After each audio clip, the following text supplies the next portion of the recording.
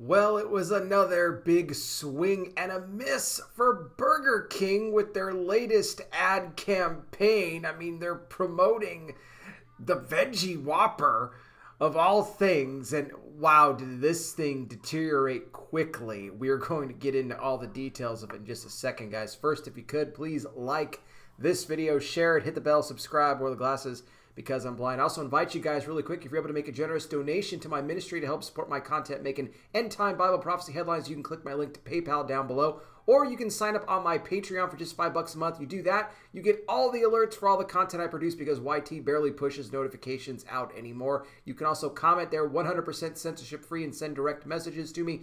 And then don't forget, these videos also go out on my Rumble platform. Make sure you sub to me there. You never know when I could get kicked off of YT, so you might want to get in the habit of checking me out there from time to time. All the links down below. Big thank you to everybody already contributing and those thinking of doing so. Thank you as well. Your generosity very greatly appreciated.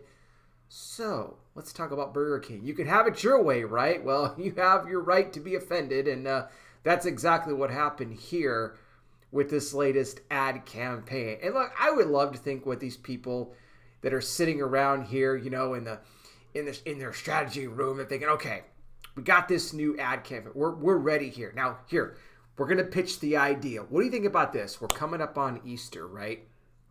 We want to promote our new burger here, the the the veggie king, the vegetable king. Okay. And what better way to go ahead and incorporate this and than to add Easter with it? We we can somehow you know, incorporate here the big the big king vegetable. That's what they're called. The big king vegetable. but we can tie Easter in with this because th- this will really make waves. Now, I want you guys to keep in mind something here. This ad was released specifically in Spain, okay? Now, Spain has about 200 Burger Kings that are in the country. So they got some there. Also, Spain is 60% Catholic as far as the faith goes there. So, picture this. You got the Burger King ad for the the Big King vegetable.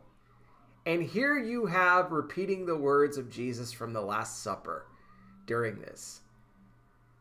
Take all of you and eat of it.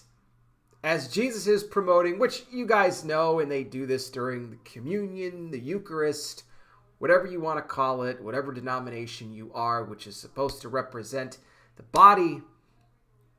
But you have a situation here in which you are using the veggie Whopper here, which does not contain any meat, and using Jesus' words from the Last Supper to promote this, which you know this was right before his death. I mean, other other words in the campaign that Jesus had mentioned, you know, here, you know, flesh of my flesh. Well, they crossed off one of the words of flesh and replaced it with vegetable. Flesh of my vegetable. Yes, put this whole thing together, release the ad. Not only was it released on TV, but also all over the country. Billboards. I mean, they rolled this thing out. They put all this money and effort into the campaign and it was a huge strike and a miss. You had all of these Catholics and all of these Christians going on social media and just causing an uproar about this, saying you are mocking the resurrection of Jesus Christ, you're mocking the Last Supper. How dare you do this? They wanted it immediately removed. And Burger King in Spain, they did release a statement which came actually right around Easter where they said that they were working immediately to withdraw the campaign and said that they meant no harm to anybody in the Catholic or Christian community about the words here and you know they didn't mean to take Jesus's words out of context and mix this in with an ad for a vegetable king sandwich uh, and they'd be working on this. Oh, but this was not good enough though for these people in Spain because they're actually taking things to the next level. They are now saying that they will never again eat at a Burger King unless this is what they want. They want the general manager for Burger King in Spain fired. That's right, they want his job gone because of this. Don't mess with these people on Easter, okay? They take it very seriously over there. Now, I know, you know, in typical Catholic religions, they might, you know, it's more of the religious thing to them, you know, with the Eucharist and all of that. You know, I know with Christians, non denominational Christians, evangelicals, you know, they'll look at Easter, you know, possibly a little bit differently. Look, it's still bad taste, no matter how you want to look at it. And, like, oh, speaking of bad taste, I'm sure that that big king vegetable is probably disgusting. But uh, that's a conversation. That's a whole other conversation. So they want this guy's job. Now, no word yet from Burger King as to whether or not they're going to actually fire this general manager or not over the ad campaign. But this is by far not the first time that Burger King has come under fire for putting out an offensive ad. We know that they have been like this when it comes to the rainbow community. Uh, they have gone up against Chick fil A before, which I find funny because Chick fil A is just as sold out to the rainbow community as Burger King is, but not a lot of people know that. I talk about that. I've talked about that a lot in other videos. I won't get into that here now. But, you know, Burger King, again, no stranger to controversy. And no doubt they will try something like this again. And of course, the question was raised because it always will be would they try something like this uh, and promote something having to do with, you know, the Muslim time of Ramadan?